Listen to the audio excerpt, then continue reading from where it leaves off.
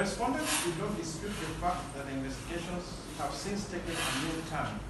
In my view, for the court to find whether or not there are compelling reasons to deny the respondents bond of bail, the court must consider the grounds advanced by the state collectively as opposed to selectively. I have already stated that I agree with the state that the offenses under investigation are serious in nature.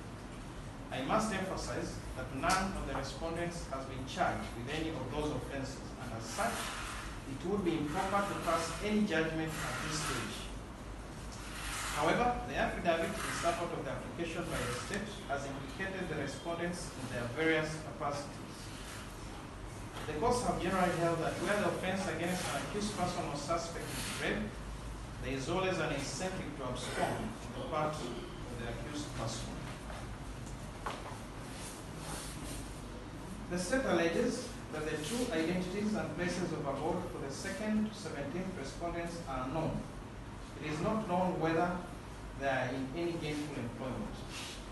The IEO reports that the second to seventeenth respondents were arrested by the police on various dates in the bushes within Shakahola Forest. That they did not provide their national identity cards or any form of identification.